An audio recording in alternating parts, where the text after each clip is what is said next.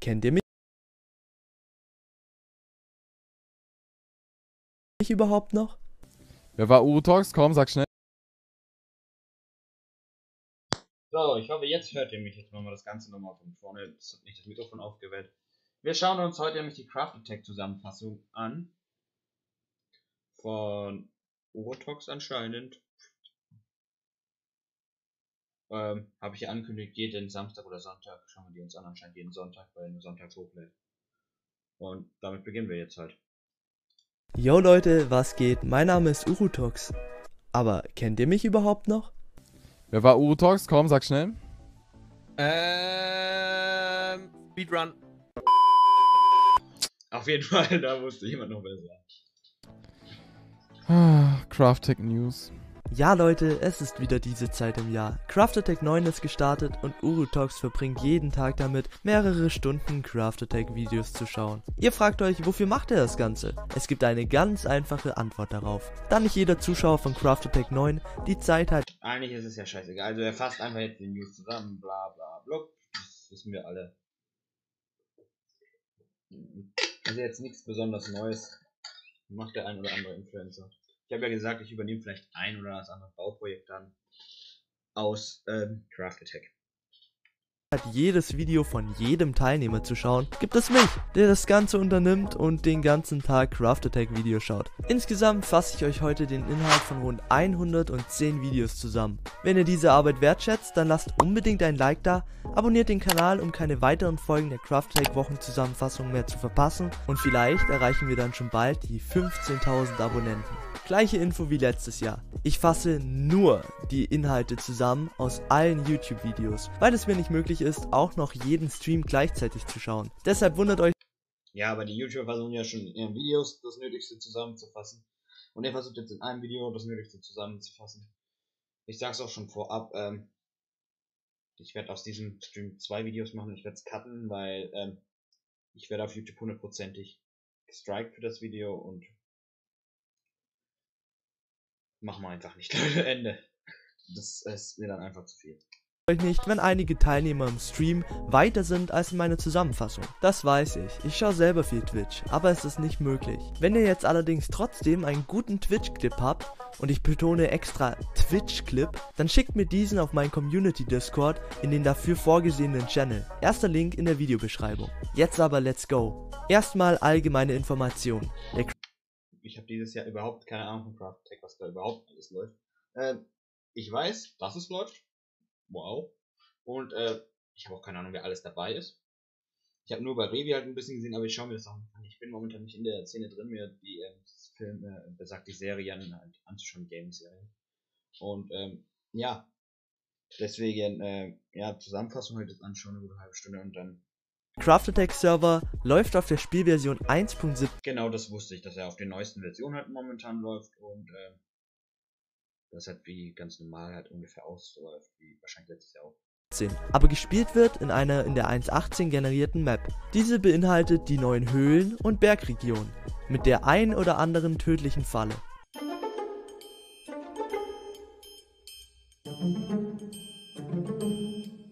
Der äh, Max, ah, der schafft es gleich in den ersten paar Minuten an Frost zu sterben, Leute. Applaus dafür. Hat er super hingekriegt. Super, Max, danke.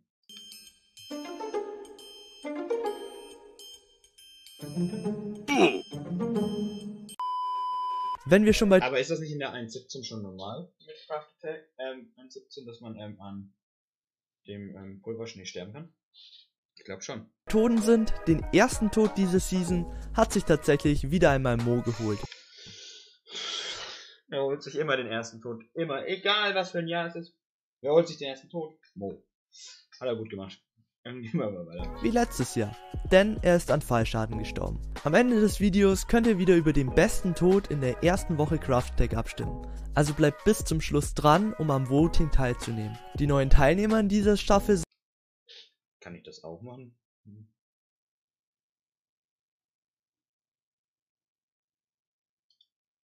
Ich glaube nicht. Ja. Äh, neun Teilnehmer. Sagt mir alle nichts, Leute. Vorab. Keine Ahnung, wer das ist. sind Blizzard, Caravas, Let's Hugo, RGB Pixel, Sebo 0815 und wichtiger. Wo haben sich denn unsere Teilnehmer so verteilt? Hier mal eine Weltkarte. Hm, ich würde sagen, wir starten. Wow. Spark ist da unten. Trimax ist da. G-Time ist da. Sebo ist da. Rotpilz ist da. Favo ist da. Da hat sich jemand das Eis. Kev ist da. TJ. Hugo. Stegi. Papa Platte hat sich wieder am Arsch der Welt reinge. Das ist auch noch Spark. Wo ist Revi? Revi ist doch nicht da, Revi ist doch extra. Revi hast doch das Ganze. Aber gut. Oder ist mit Basti. Wo ist Basti denn? Da oben ist Basti. Nee, das Revi auch nicht. Hier. Hier oben im Norden der Welt ist das sogenannte Starterdorf. Dort haben sich Kroko, Ayosa, RGB, Basti Zock, The Joecraft und Blizzard niedergelassen. Sie starteten als Team und kümmerten sich zusammen um die Basic-Sachen wie Villager, eine Eisenfarm, zusammen minen gehen, eine automatische Melonenfarm und eine schön gestaltete Starterbase. Diese Aufgaben teilten sie untereinander auf. Das Ganze ist in dem Style eines Wikingerdorfs gehalten. Einer der Starterbase-Mitglieder, nämlich Basti Zockt, hat direkt etwas gemacht, was bis dahin noch kein anderer Craft Attack-Teilnehmer jemals geschafft hat. Er hat es direkt am Anfang von Craft Attack geschafft, an die World Border zu traveln. Allerdings ist diese auf dem Craft Attack 9 Server nicht zig Millionen Blöcke weg, wie es normal der Fall ist, sondern nur 10.000 Blöcke vom Spawn. Das Respekt an den auf jeden Fall dafür, aber gut, wenn es diesmal echt nicht so weit ist, ist es jetzt auch nicht so eine hohe Überraschung. Ganze ist der Fall, da diese erst erweitert wird, wenn die 1.18 full released wurde. Dort baute Basti ein Also wenn die 1.18 raus ist, wird dann der Border. Okay. kleines Haus. Ebenso versucht er mit Kroko Blizzard zu trollen, aber es hat nicht so geklappt, wie er es erwartet hatte. Als ersten Shop Lava einfach drüber. im Shopping District will Basti einen Totem-Shop aufmachen. Um diesen zu befüllen, hat er schon eine kleine Raid-Farm nah eines Outposts gebaut. Kroko, auch Teil der Anfangsdorfgang, kümmerte sich um das Design dieser Base und hat zusammen mit Ayosa diese schönen A-Frame-Häuser gebaut. Zusammen mit den anderen Teilnehmern starteten sie auch direkt am Anfang des Projekts zwei Raids in ihrem Dorf und sind gerade nochmal so weggekommen. Oh, ah, wo ist Hier ist Ach, ein oh. Magier. Sehr gut. Flucht. Nächster Magier down. Ich muss laufen. Zwei Herzen. Die Hauptbase von Kroko wird hier entstehen, auf dieser kleinen Insel Das nahe Pilz- des Das Pilzbiom wird wahrscheinlich wieder wie jedes Jahr ähm, der Verkaufsstand sein. Spawns. Seine Idee für diese Insel ist es, eine Tower Base zu bauen, in der jeder Teilnehmer sein eigenes Stockwerk einrichten kann. Das erste Stockwerk dürfte direkt Blizzard einrichten. Das Ganze gestaltet er mit Eis und Blackstone. In diesem Style will Blizz seine ganze Base bauen. Es soll eine Nether-Festung entstehen, welche eingefroren in einem Eisbiom ruht. Das Ganze im Äh, Viereck deswegen hat er oben sich die ganzen ähm, Sachen gesneakt.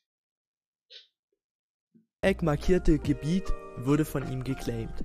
Auch hat Blizzard angefangen, Füchse zu trainieren und hat komische Experimente mit ihnen durchgeführt. Als ersten Shop will Blizzard einen Amethyst-Shop eröffnen und sucht dafür eine Geode, konnte allerdings diese noch nicht finden. Kommen wir zum Ork. Ja, auch dieses Jahr ist Krokos alter Ego, der Ork, in der Craft Attack 9 Welt gelandet und treibt sein Unwesen. Dieser hat in einer Höhle gegenüber des Starterdorfs sein kleines Orklager errichtet und auch schon direkt seinen ersten Troll in der Villager Hall der Teilnehmer gebaut. Eine Falltür macht das Betreten der Trading Hall um einige schwerer und ein paar Teilnehmer mussten das schon schmerzhaft erfahren. Neben dem Ork wohnt auch Iosa 100 noch im Starterdorf Eigentlich ist auch gut gemacht für. Dann hat er kein Problem mit den anderen. und war der Villager-Beauftragte. Allerdings hat er mittlerweile zusammen mit den anderen Teilnehmern für das kommende Charity-Event am 20.11. eine kleine Spielarena gebaut. Der Modus, der dort gespielt werden soll, nennt sich Viertelball. Es wird auf einer Eisfläche mit Turtles Fußball gespielt, ohne sie dabei natürlich zu töten. Oh, oh. Die kriegt Damage. Nein, Geil von ihm gemacht, auf jeden Fall Ehre. die stirbt. Ja, okay. Müssen wir gleich dem Joe reporten. Die ist gestorben. Dieser Spielmodus wurde von ihm und Kroko in Sky Attack erfunden. Um das Ganze groß und automatisch zu machen, gibt es natürlich nur einen Namen, der sich um die Technik kümmert. Genau, The Joecraft. Joe entwickelt ein System, das sobald ein Tor geschossen wird, die Schildkröte zurück in eine Ballwarteschlange geführt wird. Gleichzeitig wird ein neuer Spielball, also eine Schildkröte, in die Mitte der Eisfläche transportiert und somit kann reibungslos weitergespielt werden. Noch dazu kümmert er sich um das Display, welches die Punkte der jeweiligen Teams dann anzeigen soll. So beruhigend mit einem Redstone-Projekt ging die Woche allerdings nicht los für Joe. In einem spannenden Fight starb Joe fast das erste Mal. Hm. Er ist auch eigentlich super nett und hat sau viel drauf auf jeden Fall. Mal. Was habe ich ihm getan? Du hast ihn angeschaut. Dein erster Tod vielleicht? Mein erster Tod. Die andere Baustelle diese Woche ist seine Hauptbase. Diese baut er genau hier. Seine Base wird große Fenster in der Klippe haben, welche von oxidiertem Kupfer umgeben werden. Das Besondere in seiner Base soll sein, dass das Ganze von einem Smart Home gesteuert wird. Mit dieser Redstone-Konstruktion wird er überall im Haus alle Türen, Lichter, Kaffeemaschinen oder sonst was steuern Geil, aber ähm, ich weiß nicht, wird das denn gestattet vom Crafting-Team? Weil das tut ja alles zum Lecken bringen auf jeden Fall. können. Wenn ihr wissen wollt, wie man so eine Redstone-Technik entwickelt, dann fragt am besten nicht mich, aber schaut Schaut bei Joe Craft vorbei, der hat Ahnung, bis Redstone. gerne bei ihm auf dem YouTube-Kanal vorbei.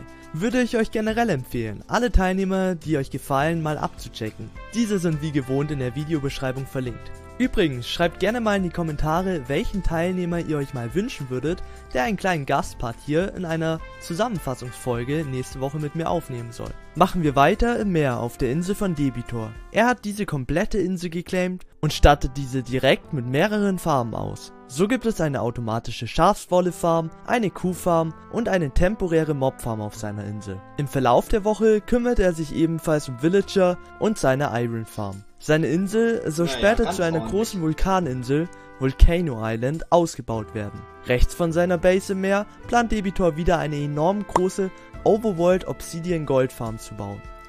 Richtung Südosten von der Goldfarm kommt das Gebiet von Bratten Industries und die Insel von Rotpilz. Außer diesen kleinen Ausschnitten hier gibt es leider keine Folgen oder Videomaterial auf YouTube von den jeweiligen Teilnehmern. Ebenfalls Echt? Die haben noch nichts gemacht, Rotpilz und Co. Hm. Kann der.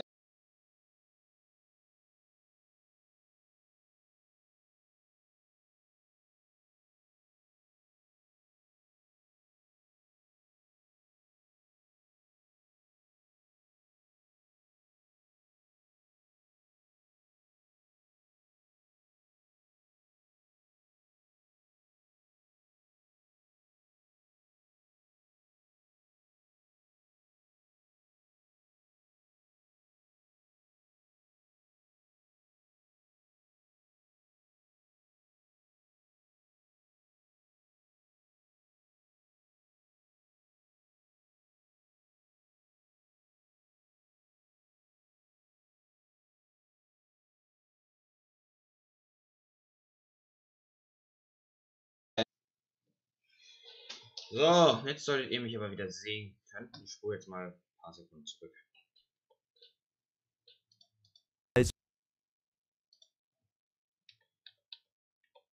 Ja, da Malte waren wir glaube ich stehen geblieben. Dann machen wir einfach weiter. Instagram einmal ausgefallen. auch anschaue, sind Gäste nicht so sehr erwünscht bei Malte. Gehen wir nun in den Nordwesten der Karte. Dort hat sich Basti GHG niedergelassen, nachdem er durchgehend von Veto und No Risk verfolgt worden ist.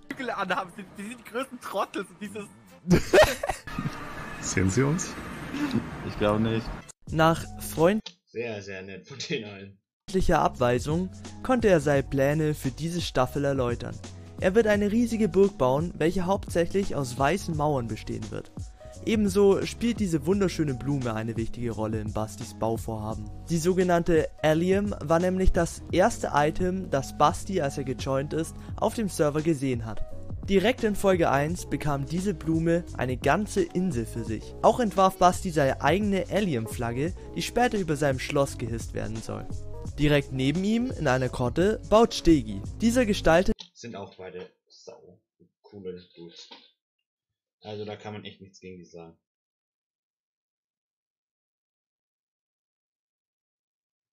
Äh. Ja, aber es ist halt.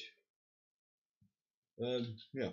die Wasserhöhle mit Arterien, welche sich in der Geile ganzen. Base ausbreiten sollen. In der Mitte der Base soll ein großes Herz schlagen. Das Base-Konzept ist wohl auf seinen neuen Cosmetics zurückzuführen.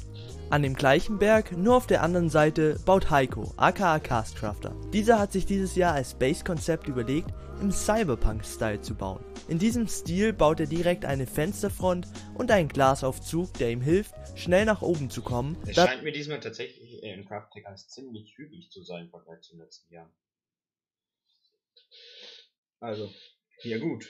Das End und dadurch die Elytra noch nicht zugänglich sind in Woche 1 für die Spieler. Weit im Nordosten der Karte baut Cast eine Guardian Farm, welche ihm Am Arsch der Welt. Seelaternen bringt. Diese werden auch seine ersten Shop-Produkte sein, wenn der Shopping District in Woche 2 eröffnen wird. Ebenfalls hat Das heißt, ich bin noch pünktlich in Woche 1, Leute. Noch ist alles gut.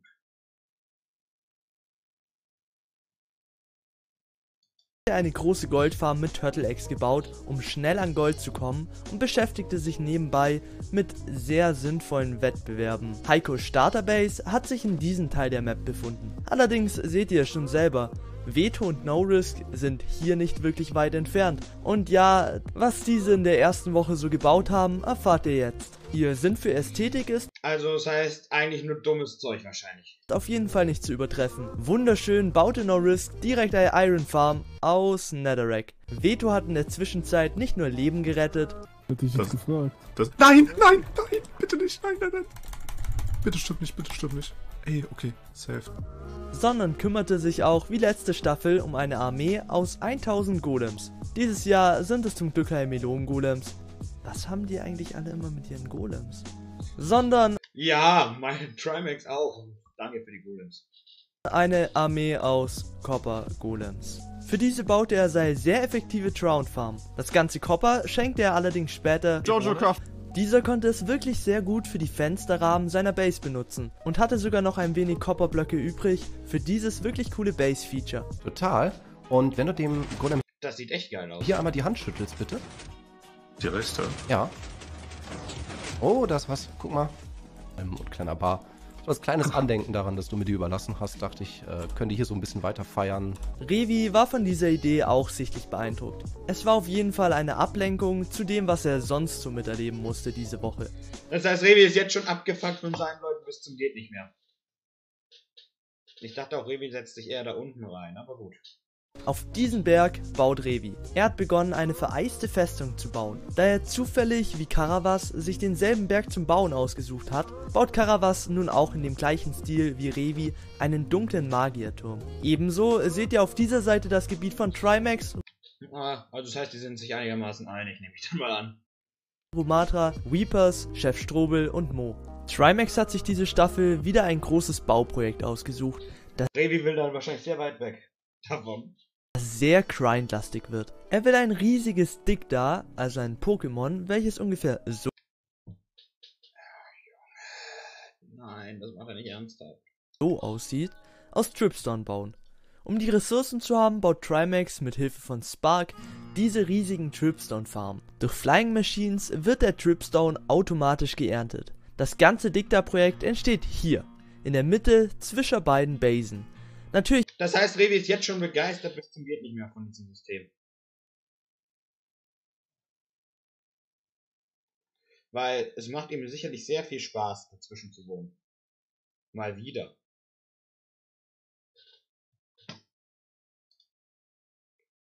Äh, ich muss mal kurz was machen. Weil es ist ja nicht so, als würde er, äh, hätte er nicht das letzte Mal auch schon so ein Problem gehabt. Ah, Twitch bei, bei mir irgendwie momentan, aber gut. Äh, ja. Mal gucken, wo es landet. war Revi nicht wirklich begeistert von diesem riesigen Dicta, das bis zur Bauhöhe geht, genau vor seiner Base. Natürlich kam es zum Streit. Ja Leute, ich muss mir wirklich jede Craft Attack Folge anschauen. Das ich auch schon wieder sau asozial von Trimax heute. Weil er hat schon letztes Mal ist er Revi auf den Nerven gegangen, jetzt geht er wieder eine Revi auf den Nerven zum Bauprojekt. Fakt aus der Sache, da Cheatime fleißig wieder alles geclaimt hatte, 5 Minuten nachdem der Server online Ja, aber ich habe auch gefühlt, er hat nichts anderes zu tun. gegangen ist, sicherten sie sich das Recht, von Spark abgesegnet, und Revi muss nun das Dicta dort ertragen, sobald es fertig ist. Sebo, welcher sich hier ein kleines Gebiet auf dem Berg geclaimt hat, musste es auch schmerzhaft erfahren, wie es ist, wenn G-Time in der Nähe war und seine Bauplätze reserviert hat. G-Time. G-Time. G-Time. Im Industriegebiet der Trimax Co. KG gab es auch noch einige äh, wunderschöne Dinge, die allerdings sehr funktionsfähig sind. So baute Chef Strobel eine wunderschöne Eisenfarm, welche direkt von G-Time niedergebrannt wurde und gleich wie Romatra eine automatische Moosfarm. Hier oben auf der Insel entsteht Fabo Space. Wofür?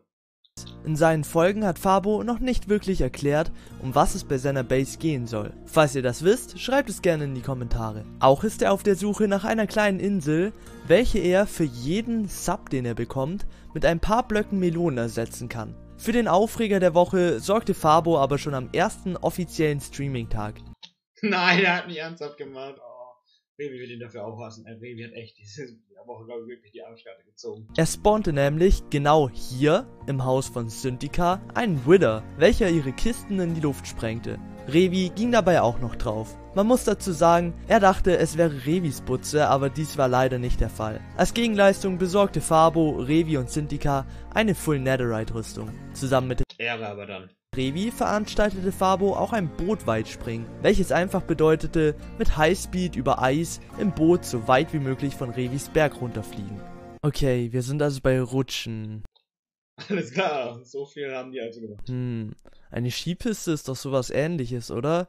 Ist ja fast wie Rutschen. Ach egal, das war die beste Überleitung in diesem Video. Kommen wir zu Hugo. Dankeschön, das ist aber nicht hungriger Hugo, ne? Nee, nee, nee, das ist äh, Let's Hugo. Er baut auf diesem Berg hier sein Projekt, welches er feierlich Österreich nennt. Fazit nach einer Alles klar, ich nenne mein Projekt auch noch einen. Woche. Ich kann in Revis Video wirklich viel von Hugo Space sehen, aber irgendwie keine Spur von Österreich. Auf dem Berg nebenan wohnt Wichtiger, ebenfalls ein neuer Teilnehmer. Er hat vor, den Frozen Palast von Elsa auf diesem Berg zu bauen. ist jetzt nicht richtig ernst, aber gut, jeder kann machen, was er will, wir sind in einem freien Land. Sein Ziel ist es, zu überleben und keinen Tod zu sammeln und haut dafür sogar den ein oder anderen wirklich guten MLG raus. Auch diese Woche hat er zusammen Das heißt aber auch, dass er richtig gut ist, eigentlich prinzipiell betrachtet, von seinem Können. zusammen mit Blizzard zwei Wither gleichzeitig besiegt. Nachdem er das alles überlebte, kam Faber auf die Idee, Hugo Subs zu versprechen, wenn er es schafft, Wichtiger zu töten. Das Ganze artete in einem Kampf aus und ich habe mich plötzlich gefühlt, als würde ich nicht mehr Craft Attack schauen, Wofür? sondern einfach die neue Staffel Varo. Diese neuen Aro gibt's nicht, der Name wurde geclaimed.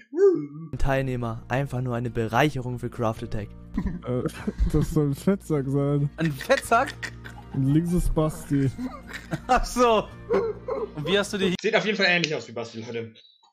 Hier diese Sch Schauen wir uns nochmal hier im Süden der Map um. Dort baut G-Time, etwas abseits des Genau, das könnte noch entspannt werden, weil G-Time, ich muss ganz ehrlich sagen, am besten bauen Spark, G-Time, Revi, Basti und alles, was da so oben war, ne? Mit so oben, die bauen gar nicht so schlecht. Industriegebiets, sein asiatisches Dorf. Das erste Haus steht bereits und seine außerordentliche, tierfreundliche Farm Ey, ist die geil. Vielleicht muss ich mir aus dem Stil wirklich was überlegen von G-Time. Leute, es, es sieht echt geil aus. ist auch einfach nur fantastisch. Das ist keine Tierquälerei. Natürlich hilft er auch fleißig beim Bau des Riesendiktas. Das ist halt aber auch wieder von G-Time so asozial. Das war schon letzte Folge so. Und eigentlich sind die, ist er mit Revi super gut. Und sowas ist halt schon wieder abfuckt. Das geht nicht mehr. Unter dem ganzen Geschehen baut Spark. Dieser hat sich dieser Staffel vorgenommen, einen großen Planeten zu bauen. Ebenfalls hilft er immer fleißig mit bei Trimax, das gewisse Know-how in die Redstone-Schaltungen zu bringen. Auch dieses Jahr Er hätte auch einen Todesstern bauen können, wäre auch geil gewesen. baut Spark wieder eine mächtige Goldfarm auf der Netherdecke. Wow, dieses Jahr sind echt schon wieder sehr, sehr viele Goldfarmen geplant. Hm. Der nächste Punkt unserer Zusammenfassung führt uns in den tiefsten Westen. Dort sind diese zwei wunderschönen Inseln zu erkennen. Auf ihnen wird von Zinus gebaut, von welchen ich leider noch keine YouTube-Videos finden konnte, und die untere wird vom lieben RGB Pixel gebaut. Dieser hat sich, nachdem er fleißig bei der Starterbase mitgeholfen hat, nun hier in den Westen begeben und ist dabei, seine Stadt Buchheim zu errichten. Grob geterraformt hat er das Ganze und zieht die Grundrisse für die mittelalterlichen Gebäude. Zwischen der Base von den beiden und Stegis Grotte seht ihr diesen unglaublich großen Unterwasserbereich. Nein, Klim baut nicht wieder über dem Wasser wie letzte Staffel, er ist ja nicht komisch oder so. Guten Hunger! Mmh. Lecker! Also er baut jetzt Unterwasser, das hat der letztes Mal Ding gemacht. Äh, Kevin. Äh, ja, wo waren wir? Genau. Klim errichtet diese Season nämlich eine Stadt unter der Wasseroberfläche und hat sich dafür seine Starterbase gebaut, in der er für den Anfang seine Sachen lagern konnte. Ein sogenanntes U-Boot. Ja, ich habe es richtig gesagt. Ist jetzt nicht sein Ernst, oder? Das U-Boot. Gesagt. Es ist ein Hightech-Unterwasserboot. Perfekt für die Anfänge. Von dort aus kann er sein neu gebautes Hard of the Sea begutachten. Er bekommt gut Hilfe von einem unbekannten JB. Guten Tag, was kann ich für Sie tun? Und ebenfalls tolle Unterstützung von Flocke. Diese baut genau hier, auf diesem kleinen Berg. Dort zieht sie mit ihm ihre gemeinsame Villager Farm auf, in der es wirklich ganz besondere Verzauberungen gibt. Ein, ein, ein Schaf, alles klar. Ein Schaf. Mit Manding. Äh, aber so eine Wasserstadt könnte auch geil werden, weil ich habe jetzt für Craft Tech schon einen Platz ausgesucht. Der ist halt unter Wasser. Flockes zweites Projekt ist, ein Cake Island zu bauen, um genau zu sein, hier unten, im Südwesten, welches ein eigenes individuelles Biom werden soll. Von Riol, Halbzwilling Noah, Kev, Tim Jacken und Papa Platte habe ich leider auch kein Videomaterial gefunden. So, damit wären wir durch und ihr wieder up to date. So, also das war's wohl. Wir schauen uns nochmal an. Die dümmsten Tode hat er gesagt. Kommt hier noch eine Abstimmung.